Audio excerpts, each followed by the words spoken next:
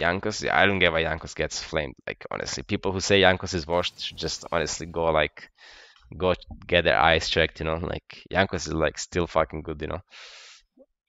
Actually, Jankos is like one of the players that is like the most consistent like in LEC in last like eight years, right? Like I feel like every year he's good. Like every year he does really well. And sure, he has some games where he's like questionable and really into, but every single player has that. Like, what the fuck, you know? Like, look at Hans Sama, for example. Hans Sama Smurfs 90% of the games, and then like 10% of the games, he looks like he's elo boosted, you know? Like, every single player has games, but they're just gonna run it down.